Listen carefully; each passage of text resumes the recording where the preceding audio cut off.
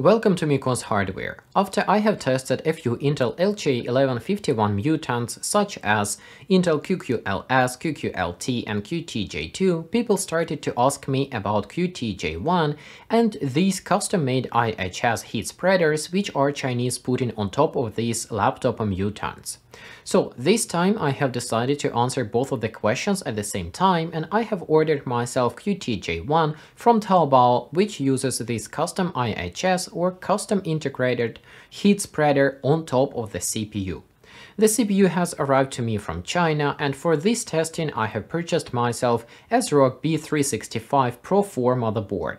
If you've seen my previous video where I have tested my mutants using a Gigabyte Z170 motherboard, that motherboard has pretty bad VRM and that VRM is not enough to power up 8-core CPUs. So, ASRock B365 Pro 4 motherboard. This motherboard does not have the best VRM and arguably it's probably not even the mediocre VRM. It's slightly less than average, but it's still much better than what I have had on my Gigabyte Z170. Other than that, the motherboard costed me just 85 euros, which is insane value because the motherboard comes with all possible and all needed features you would need for a modern gaming computer. My only complaint about the motherboard is the lack of a display port. Intel UHD 630, which is available on most of the LGA1151 CPUs, is able to output 4K resolution at 60Hz using DisplayPort. Unfortunately, this resolution is not available using HDMI, which means that if you have a 4K monitor, you will have to add an external graphics card and you will not be able to use this motherboard with integrated graphics card. Even though B365 chipset natively supports Intel Core i7 and i9 CPUs 8000 and 9000 series, to be able to use these laptop mutants, you still need to modify the BIOS and add required microcodes and apply certain fixes. So in my case, I have made the BIOS myself, it was pretty easy, I spent just a few minutes using the Coffee Time application. All information about the Coffee Time application and the BIOS you will find by the link in the video description, so if you're interested follow up there and you will find the answers. After you have created a modified BIOS with support for these mutants for your LGA1151 motherboard, you have to flush it onto the motherboard. That's why you need to use an external flash programmer such as CH341A and I have a tutorial how to use that external programmer if I will not forget, I will add a link to that video either here or here. So, once I have got the modified BIOS on my motherboard, installed QTJ1 and assembled my test bench, I have started the computer and started my testing. Unfortunately, immediately after that I have figured out that my CPU temperatures are absolutely outrageous. Even with the slightest load, the CPU was cooking itself up to 100 degrees Celsius and was starting to throttle or crash. My first guess was that the cooler I am using is simply not capable enough to cool this CPU. At that time I have used my Be Quiet CPU cooler, it's this one, it's not big, but it has very flat and shiny surface, which is good to be able to cool mutants with a naked crystal. In my case, with the QT-J1, it has integrated heat spreader onto the crystal, so it's not very important, but still I just used the CPU cooler because I had it lying around. So the next step was to take my giant Noctua cooler. This beast is able to cool down basically anything, even overclocked Xeon E5 1660 V3 which consumes up to 200 watt of electricity is able to stay cool under this Noctua cooler. Unfortunately, even after I installed this Noctua cooler on top of my QT-J1, I still didn't get any better results. The CPU was still cooking itself up to 100 degrees Celsius and throttling. So obviously there were some other problem and it was not related to the CPU cooler itself. After spending some time and investigating the problem, I have figured out that the IHS on this mutant is simply not high enough to get a proper contact between the CPU and the cooler. After a few days of struggle and figuring out how to properly cool down the CPU, which was basically sitting almost under the LGA1151 mounting bracket of the CPU, I came to a solution. I have actually bought entire box of these uh, coolers and I have bought a few other models uh, as a bulk order from China. If you will be interested, I will make a dedicated video about these CPU coolers and about some uh, niche problems when you are dealing with the Chinese and trying to make some business with them. But in my case, this cooler was the solution. Unfortunately, I was still not able to use the native bracket because the native bracket also has all the required safety features not to apply too much pressure onto the CPU and do not damage the CPU. So I have found some old mounting bracket which was left in my box from some other CPU cooler, I don't even remember which cooler it was, and used that other mounting bracket which was designed for another CPU cooler, but it let me squeeze down this uh, all-in-one liquid cooler onto the CPU socket and onto the CPU hard enough so the CPU temperatures were staying somehow manageable, still not ideal, but at least the CPU was staying below 90 degrees Celsius and didn't throttle and I was forced to limit my QTJ1 to 115 watt of electricity consumption during sustained load and 145 watt during the short period of time when the turbo boost is kicking in. The frequency I set to 4.3 GHz when all CPU cores are used, all the way up to 4.7 GHz if only one or two CPU cores are utilized. After solving the overheating problem and applying somehow decent overclock or at least somehow decent frequencies for the CPU, I decided to try to overclock my memory. And here I have got another disappointment. Unfortunately, the same as any other mutant CPU I have tested, QTJ1 also has a problematic or rather weak memory controller. In my case, the CPU refuses to start with anything higher than DDR4 2400. Even if I try to use DDR4 2500, the CPU simply doesn't start. That's why all the tests will be conducted using DDR4 2400 CL12. Yes, I was able to tighten the memory timings to CL12. Once I have solved overheating, CPU overclocking and memory tuning problems, I have decided to go into the gaming test results.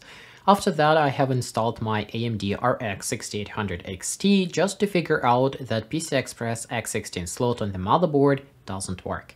Well, the slot physically was working, nothing was damaged, but it just didn't work with the CPU.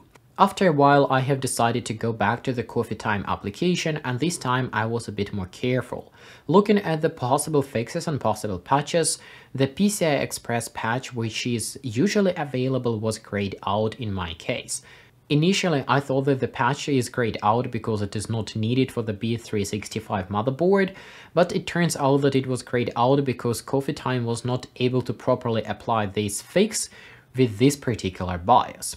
Initially, I tried the latest BIOS available from the ASRock page, which was 4.30, but after I have figured out that Coffee Time is not fully supporting this BIOS, I have downloaded a previous version, which was 4.20, and that one is fully supported by Coffee Time. I was able to apply the PCI Express patch, and after that, with this BIOS, the PCI Express X16 slot works, graphics card works, motherboard works, everything works as it should. So there I was able to conduct all my test results, and let's take a look at them. Starting with Far Cry New Dawn. As expected, QTJ1 is significantly faster than Xeon E5 2678v3, here we are getting 74 and 102 FPS for QTJ1 and only 58 and 84 FPS for Xeon E5. Obviously Ryzen 5 5600X is faster than both of the CPUs. Assassin's Creed Valhalla. This is a very well optimized game which uses DirectX 12 API. Here, all three CPUs are demonstrating basically identical performance. Ryzen 5 5600X and QTJ1 are slightly faster than Xeon E5. Assassin's Creed Odyssey on the other hand is a rather old game which uses DirectX 11 API, and here QTJ1 is catching up with Ryzen 5 5600X and leading Xeon E5 2678v3 rather substantially. QTJ1 gives us 28 and 74 FPS, Xeon E5 has only 26 and 60 FPS. Watch Dogs Legion is another rather modern title which also uses DirectX 12 API and pretty well optimized. Here, QTJ1, Xeon E5 2678v3 and Ryzen 5 5600X are demonstrating very comparable results. Of course, Ryzen 5 is slightly faster, but Xeon and QTJ1 are not that far behind. F1 2019. This fast-paced game really depends on the single-core performance. Here QTJ1 is also significantly faster than Xeon E5 2678 v3, 171 and 235 FPS in comparison to 145 and 208 FPS. Ryzen 5 5600X is much faster than both of the CPUs. Tom Clancy's Rainbow Six Siege, yet another fast-paced game where QTJ1 is significantly faster than Xeon E5 2678 v3, 295 and 405 FPS in comparison to 285 345. Nevertheless, both of the CPUs are demonstrating very good performance with more than 200 FPS at all times. Combining all 6 games together, we can see that QTJ1 beats Xeon E5, QQLS, QQLT overclocked to 4.5 GHz, and of course it beats QTJ2, which is not overclocked and has only 6 cores. Here it is important to mention that QQLS, which also has 8 core 16 threads, even though it was overclocked to 4.5 GHz, it was limited to about 95 watt of electricity consumption due to the pathetic VRM of my Z170 motherboard. I also did not overclock cache or integrated memory controller in QQLS, which usually gives some extra performance. Nevertheless, QTJ1 gives us very good result which is not that far behind from Ryzen 5 5600X. Of course it is not able to catch up with Ryzen 5, but the results are still pretty good. Comparing the performance in Cinebench R20 we see the following picture. Compared to Ryzen 5 5600X, QTJ1 is slightly slower when using single CPU core and basically equal to Ryzen 5 5600X when using all CPU cores. In CPU Z we get basically the same picture. Ryzen 5 5600X is faster when using single core and slightly slower when using all cores. After all, QTJ1 has 8 cores and Ryzen 5 has only 6 cores.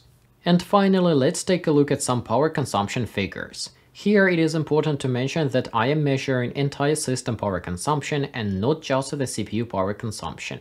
If you have a more powerful CPU, the CPU will be able to load your graphics card higher, and the graphics card will also start to consume more power. Under gaming conditions testing with the F1 2019 and Assassin's Creed Valhalla, both of my testing system with Ryzen 5 5600X and QTJ1 consume about the same amount of electricity. The power consumption was staying around 300 watt.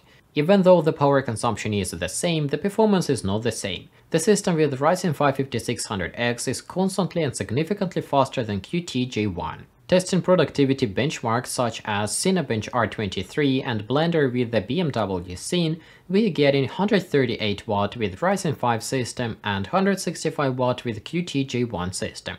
So the power consumption difference is there and Ryzen 5 is obviously a more efficient CPU, but QTJ1 at 4.3 GHz is not that bad. Xeon E5 2678v3, which lost to QTJ1 with gaming and productivity, consumes significantly more power.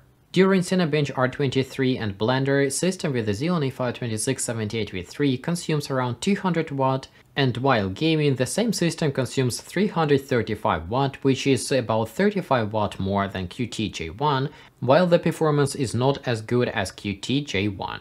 So, what I can say in the conclusion. First of all, I really like QTJ1. 8 cores, 16 threads, decent frequency and ability to overclock, and all of this is costing you less than 200 euros. The CPU can be installed on budget-friendly B365 motherboards, which pack all necessary features which you might need for a modern gaming or productivity computer. The CPU has its flaws such as power consumption, such as heat production, and probably the biggest problem is the limited memory controller. In my case, the CPU was limited to DDR4 2400. The worst of all is the packaging. In my case, I'm having this integrated heat spreader which was made customly by Chinese, the heat spreader is slightly lower or slightly shorter than their normal CPUs, which makes it next to impossible to keep the CPU cool, especially if you attempt any sorts of overclocking. For myself, I was able to solve this problem using some custom mounting from different CPU coolers to increase the pressure from the CPU cooler onto the CPU, but in your case it might be much more complicated because you do not have piles of uh, mounting kits lying around which you have left after assembling different computers using different CPU coolers. Thus, if you're planning to buy QTJ1 or any other LGA1151 mutant, I strongly recommend you to buy the one which has naked crystal. It is a bit more complicated and a bit more cumbersome to install the CPU onto the socket because you need to remove the current or already mounted bracket on the motherboard and use uh, some special adapter which is supplied with the CPU but believe me it is not that complicated and the cooling capabilities of this solution is much much better than this custom made Chinese IHS which simply doesn't work. Overall, QTJ1 plus B365 motherboards such as ASRock B365 Pro 4 is a much better value than Huananzhi X99TF plus Xeon E5 2678V3. Recently, prices for the X99 Xeons and X99 motherboards have skyrocketed and make no sense. It is much better to buy B365 and QTJ1, QTJ2, QQLS, QQLT. Speaking of QQLS, I have done some preliminary tests on my ASRock motherboard, and this CPU which has naked die is much easier to call on the motherboard and it is also able to sustain overclocked frequencies with more than 4 GHz on the on all CPU cores. So if you're interested, I might be able to do revisit for QQLS and test the CPU on my ASRock motherboard to see how far we can push the CPU on this motherboard and what kind of results we can achieve. At the moment, I plan to test engineering sample of uh, Intel Core i9-11900, but if you're more interested to see how QQLS performs on my ASRock B365 motherboard, feel free to leave me a video comment or join my Discord and message me straight away right over there. For now though, that's all I can tell about my QTJ1 sample, I hope it was helpful, I hope it was interesting, thanks for watching, thanks for listening, goodbye.